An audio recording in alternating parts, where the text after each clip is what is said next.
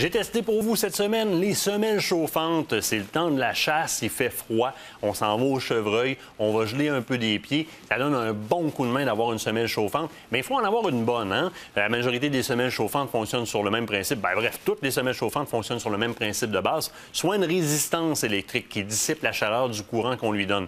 Donc, la qualité des pièces électroniques est à l'avant-plan et très importante dans la qualité de la dissipation de la chaleur en termes de, continuité et en termes de puissance. Hein. Il y en a qui vont être trop peu performantes, qui n'auront pas assez de chaleur.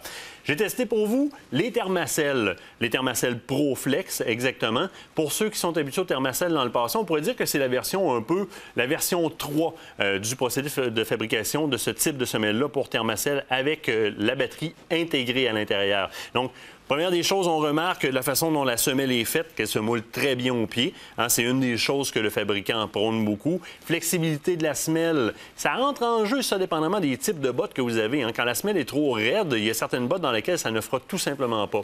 Autre chose qui est particulièrement intéressant, eh bien, c'est cette batterie-là qui est intégrée dans le dessin de la semelle et qui est coussinée. Donc, j'ai pas de batterie à part comme on avait dans le temps avec un filage et puis une strap au mollet. La batterie est intégrée. Et oui, elle est suffisante pour faire suffisamment de temps. Au niveau des données du fabricant, eh on nous dit euh, que c'est un produit qui va chauffer pendant environ 5 heures et euh, qui va être capable d'endurer au-delà de 500 charges. Dans les alentours de 500 charges, au moins, c'est ça que garantit le manufacturier, 500 charges. Maintenant, lorsqu'on les met au test, Première des choses, au niveau du temps, bien, absolument, on est capable d'aller chercher un 5 heures alors qu'on s'en sert à régime moyen, hein, parce que les semelles sont livrées avec une manette comme ça, donc pour contrôler la température. Donc, à distance, et lorsque j'ai les semelles dans les pieds, je peux euh, utiliser les trois niveaux, donc pas de chaleur pour le fermer, médium et élevé.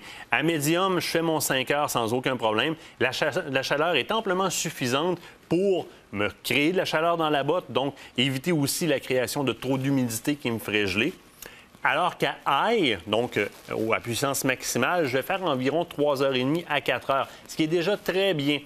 Autre avantage, bien évidemment, étant des piles aussi simples que ça, eh bien, ça me permet de pouvoir en acheter de rechange et de les traîner facilement avec moi. Hein. C'est pas épais, ça rentre à peu près n'importe où. Et le produit est livré avec un chargeur qui est très facile d'utilisation et qui lui aussi se traîne très bien parce que Magie, c'est un chargeur qui fonctionne par USB. Alors, si vous avez déjà un connecteur USB dans la voiture ou un connecteur 12 volts pour votre cellulaire, souvent il y a une prise auxiliaire USB dessus, eh bien, je peux le charger à peu près n'importe où. Euh, d'ailleurs, moi, ce que je me plais à faire avec ce type de produit-là, c'est d'utiliser ce genre de petite banque de courant-là euh, qui fonctionne à l'énergie solaire et qui me permet de brancher soit à 2 ampères ou à 1 ampère euh, mes batteries comme ça et de les faire charger. J'ai testé, à date, j'ai fait trois charges complètes de mes batteries Thermacell avec. Donc, produit qui est très performant performant. Euh, très, euh, très confortable comme produit à comparer à plusieurs de la compétition et suffisamment performant pour réchauffer mes pieds. Donc, Thermacell, dans le ProFlex, numéro un. Thermacell m'arrive aussi avec deux autres produits que j'affectionne beaucoup. Première des choses, l'échauffe-main, sous le même principe. Hein. c'est une, réserve de courant, donc une batterie qui est, euh, qui est couplée avec une résistance qui crée de la chaleur. Trois niveaux d'intensité aussi qui sont réglables par simple pression d'un bouton ici. On le maintient allongé. Quand ça clignote une fois, c'est minimum, deux fois, c'est au intermédiaire et trois fois, c'est au maximum. Ça entre très bien dans la majorité des pochettes qui sont dessinées sur le dessus des mitaines de chasse ou à l'intérieur de la mitaine, tout simplement. Et si vous avez un petit peu plus de place, eh bien, il y a un produit qui s'adapte très bien aussi qui s'appelle le chauffe-poche. Alors, beaucoup plus grand, on comprend qu'il va dissiper beaucoup plus de chaleur. Ce que je fais avec ce produit-là, c'est que je le place dans mes poches ou dans les réchauffements qui sont placés souvent sur les côtés des manteaux. Et moi, je l'installe de façon à ce que je puisse arriver avec le dessus des doigts. Donc, je l'installe comme ça à l'intérieur de la poche. Alors, je vais me réchauffer le dessus des doigts dans mes poches. Très performant. Et ce sont aussi des produits qui font facilement un 5 heures à puissance maximale, environ entre 4 et 5 heures. Ça dépend toujours de la température extérieure aussi. Hein, on le sait, plus il fait froid à l'extérieur, moins des batteries vont durer longtemps. Je l'ai déjà essayé euh, en sortie à la pêche au froid et je fais facilement mon 4 à 5 heures avec euh, ces petits produits chauffants-là qui sont géniaux. En plus, les bottes. Souvenez-vous, quand vous tenez l'humidité loin, vous n'aurez pas froid, donc un bon sous-bas qui va éliminer l'humidité avec une source de chaleur comme celle que peut me procurer mes Thermacell ProFlex. C'est réglé, je ne gèlerai pas des orteils, surtout que la surface chauffante de la semelle se situe surtout à l'avant, mais évidemment, ça se répartit à l'ensemble de la botte. Donc, très bon produit. Ça passe le test, c'est approuvé. Martin, Martin qui est frileux des pieds pas mal. De là, je vous amène à ma chronique de la semaine dans mon sentier chasse-pêche. Ça m'a fait sourire un peu. Euh, Rémi Ouellette, qui me fait un article qui se nomme 50 nuances de gris en parlant de la perdrix. Donc, euh, Thermaplex Faucel aussi, excellent contre les zombies.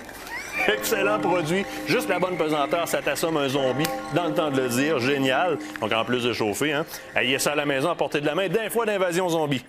50 nuances de gris. Donc, un texte qui est écrit sur la géninotupée, sur la perdrix. Un super texte. C'est presque un poème dans la description dont on fait de la géninotupée. En 50 nuances de gris, évidemment, on parle de la jupe de la perdrix, de la couleur de la perdrix. Donc, Rémi nous fait un descriptif comme j'en ai à peu près jamais vu de la perdrix. Ça me fait sourire tout le long du texte. Mais nous parle aussi du biotope dans lequel vit la perdrix, hein. où la rechercher, cette perdrix-là, sous quel type de couvert forestier, où est-ce qu'on pourrait la rencontrer euh, dans les zones de transition, et etc. Et il nous parle aussi de comment reconnaître les signes de passage ou les signes qu'il y a des perdrix qui vivent dans le coin. Donc, un excellent outil. Euh, et c'est un article à conserver parce que c'est vraiment, vraiment, vraiment complet, alors qu'on est en plein temps de la chasse, de la petite chasse de la chasse à la gélinote, au lièvre, etc.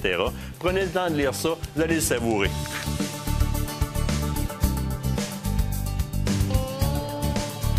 Ces conseils vous ont été offerts par le magazine Sentier Chasse-Pêche, la référence chasse-pêche au Québec.